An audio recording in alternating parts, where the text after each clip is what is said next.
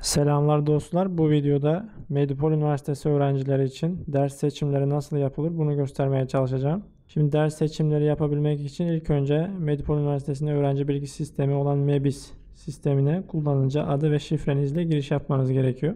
Kullanıcı adı biliyorsunuz öğrenci numarasıdır. Öğrenci numarası ve şifrenizle giriş yaptınız. MEBIS sistemine giriş yaptıktan sonra ilk karşınıza çıkan ekranda sol tarafta öğrenci sekmesi vardır. Öğrenci sekmesine tıklıyorsunuz.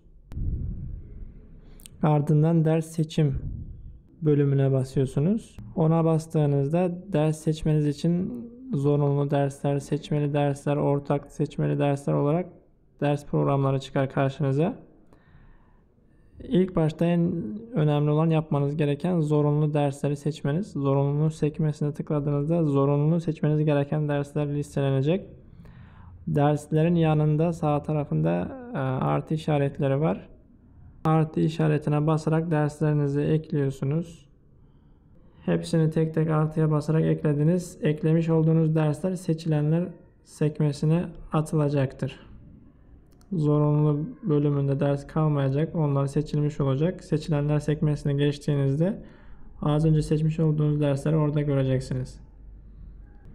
Ortak zorunlu derslere de bakmanız lazım. Ortak zorunlu derslerde seçmeniz gereken dersler varsa onları da mutlaka seçmeniz lazım. Derslerinizi seçtikten sonra öğrenci onayı butonu var. Öğrenci onayına basıyorsunuz. Orası yeşil olarak yanacak. Ondan sonra danışman onayına bir kere tıklayıp danışmana mail gönder işaretini basıyorsunuz. Danışmana mail gönder işaretini bastığınızda otomatik sekme açılacak ve gönder şıkkı çıkacak. Oradan göndere basıyorsunuz. Böylelikle seçmiş olduğunuz dersleri danışmanın onaylaması için onlara gö danışmana göndermiş oluyorsunuz. Onayınıza sunuyorum diye yazıyor aşağıda. Gönder bastınız. Şimdi eğer ki ders başarılı gönderildi diye çıktı. Başarılı mesajınız gönderildi diyor. Eğer ki danışmanınız sizin seçmiş olduğunuz derslerinizi onaylarsa danışman onayı yazan sönük olarak duran yer yeşil olarak çıkacaktır. Şunu belirtmekte fayda var. Ders seçim tarihleri şu an için uzatılmamış haliyle 5 Ekim'e kadar, Ekim'in 5'ine kadar devam ediyor. Bazı bölümler için 4 Ekim olarak da yazıyor orada. Bu tarihler arasında ders seçimlerini mutlaka kaçırmadan yapınız.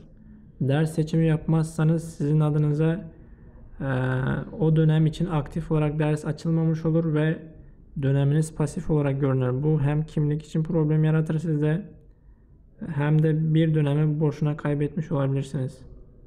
Mutlaka ders seçim tarihinde ders seçimleri yaptığınızdan emin olun.